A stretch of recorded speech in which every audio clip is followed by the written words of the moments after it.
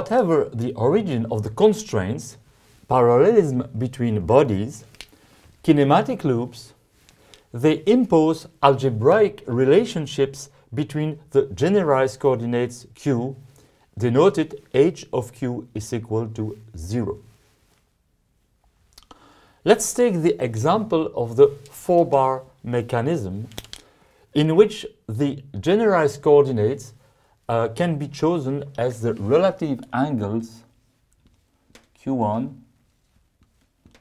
q2, and q3. Since this mechanism only possesses one degree of freedom of motion, two loop constraints, let's say HL1 and HL2, are required to express the closure of the mechanism, for instance, at the hinge D. And they tell, in fact, that two coordinates, let's say Q2 and Q3, can be geometrically expressed in terms of the first one q1. Coordinates q2 and q3 will be referred as dependent coordinates and denoted qv. Whereas q1 will be de denoted as the independent coordinate and denoted qu. This allows to introduce the so-called coordinate partitioning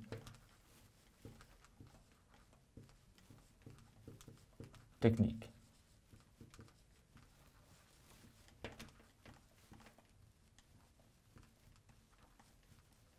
For which the global set of generalized coordinates q is split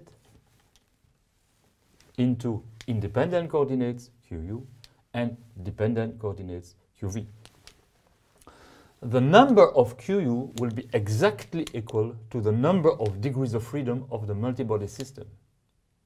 One in the case of the four-bar mechanism. While the number of QV will be exactly equal to the number of independent constraints applied to the system, two in the case of the four-bar mechanism. Let's now summarize the multibody equations the equations of motion reads m q dot dot plus c is equal to q plus j transpose lambda, where j stands for the constraints Jacobian.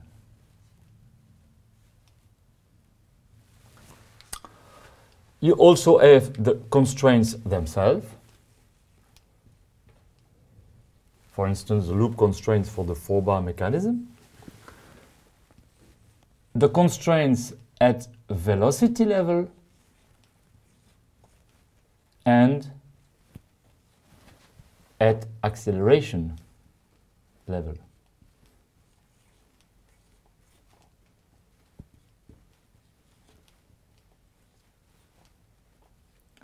All these equations form a set of differential algebraic system denoted D, A, E for differential algebraic equations that are not so easy to solve. We are able, and we will be able to reduce this set of differential algebraic equations into a pure set of ordinary differential equation thanks to the coordinate partitioning technique.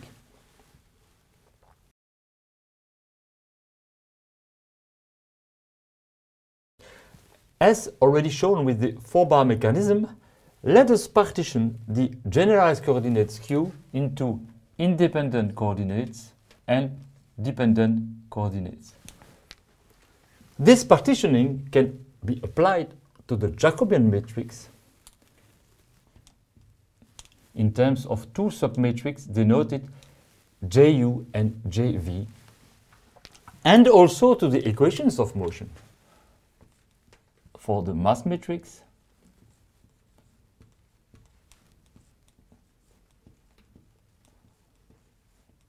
for the acceleration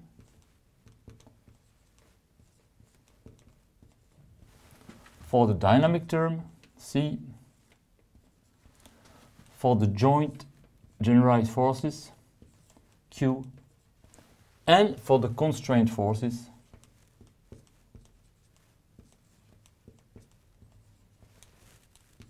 with lambda being the Lagrange multipliers. Assuming that the matrix JV is a full rank square matrix, and after some matrix manipulations, it is possible to eliminate lambda and the dependent variable to reduce this set of equation into a set of ordinary differential equation in terms of the independent coordinates u only. This is the reduction done via the coordinate partitioning technique.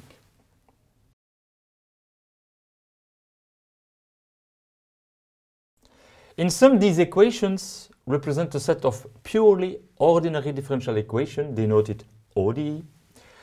Their number equals the number of degrees of freedom of your multibody system, for instance, 1 for the four-bar mechanism. A great advantage of this reduction technique is that these differential equations, once transformed into a first-order system,